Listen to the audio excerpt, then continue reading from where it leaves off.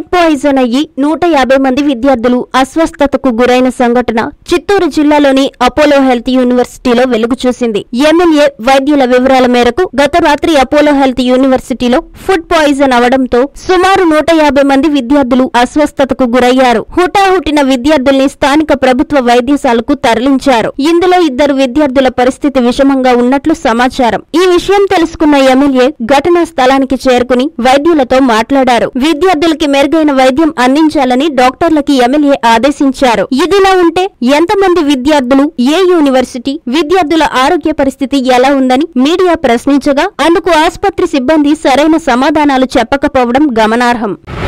నేను ఒక కార్యక్రమంలో ఉంటే గవర్నమెంట్ హాస్పిటల్ నుండి కొందరు ఫోన్ చేసి ఇమీడియట్గా వచ్చి అటెండ్ చేశాను. అపోలో హాస్పిటల్ అపోలో కాలేజీలో కొద్దిగా అస్వస్థత గురయ్యారు. డాక్టర్స్ చదువుకునే స్టూడెంట్స్ అనగానే చూశాను.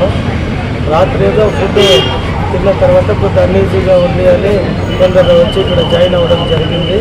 నేను ఇప్పుడే డాక్టర్లకి కానీ ఇక్కడ కన్సల్ట్ నరేష్ గారికి కానీ అందరినీ మాట్లాడినాను. ఏం జరిగింది ఏమి అనేది మనకి కొద్ది గంటల్లో తెలుస్తుంది. ఉన్న వారికి మాత్రం అందరికీ ఏం చేయాలనేది ట్రీట్మెంట్ చేస్తున్నారు. ఎవరికేమి ఇబ్బందులు లేదు. తాత్కాలికంగా ఎండలు ఎక్కువ కావడము అలాగే పిల్లలు కొంచెం నీరసంగా ఉండడం వల్ల అందరికీ సిలైన్ గ్లూకోజ్ ఇస్తున్నారు. సో ఇప్పటికైతే పెద్దగా ఎవరికేమి ఇబ్బందులు కలగలే. ఇంకా కూడా ఏం చేయాలో కేర్ తీసుకోమని డాక్టర్లందరినీ కూడా ఆదేశించడం జరిగింది. ఎమర్జెన్సీ మెడిసిన్ ఇన్ఛార్జ్ ఇక్కడ నేను.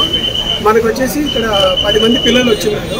వాళ్ళు అక్యూట్ జీ అంటారు అదే గ్యాస్ట్రైటిస్ వాంతులు బేదులు అవుతున్నాయి. పేషెంట్స్ అంతా మనకు స్టేబుల్ గానే ఉన్నారు. అందరికీ ట్రీట్మెంట్ జరుగుతూ ఉంది. మనము వాళ్ళని ఇక్కడ అపోలో తరఫున అడ్మిట్ చేపిస్తున్నాము. గవర్నమెంట్ హాస్పిటల్లో సపరేట్ వార్డు కూడా మెయింటైన్ చేస్తున్నాము. ప్రజెంట్ చెప్పండి చెప్పండి. స్టేబుల్గా ఉన్నారు. ఒక టెన్ పీపుల్ ఎక్కడ నుండి వచ్చారా పేషెంట్స్ అంతా? పేషెంట్స్ ఉంటే హాస్టల్ సార్ పేరు చెప్పండి పేరు చెప్పండి ఏం భయపడతారు మీరు? పేరు చెప్పండి అపోలో కాలేజీ చెప్పండి.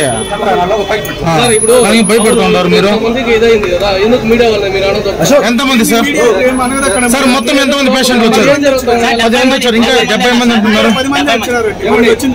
ఇది మీ హాస్టల్లో ఫుడ్ పాయిజన్ వల్ల జరిగింది కదా నన్ను కాదు మన అడ్మినిస్ట్రేటర్ నరేష్ గారు అపోలో కాలేజీలో జరిగింది?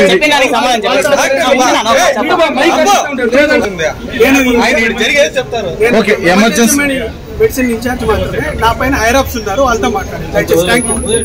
నారాయణ మాతృసేవా పథకం అమ్మతనానికి కమ్మనైన పథకం.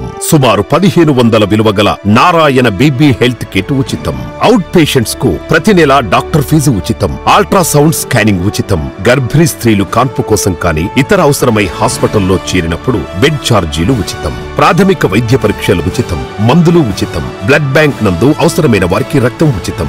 ఐదు నుండి తొమ్మిది తొమ్మిది నెలల గర్భిణీలకు ప్రతి నెల చెకప్ సమయంలో ఉచిత డ్రై ఫ్రూట్ బాక్స్ మరియు వేరుశెనగ చిక్కీలు ఉచితంగా ఇవ్వబడును. బిడ్డ పోషణ నిమిత్తం తల్లికి మూడు వేల రూపాయల నగదు అందించబడును. కాన్పు కోసం అంబులెన్స్ ఉచిత పికప్ సదుపాయం కలదు నెల్లూరు నగర పరిధిలో. నారాయణ మాతృసేవా పథకం నెల్లూరు.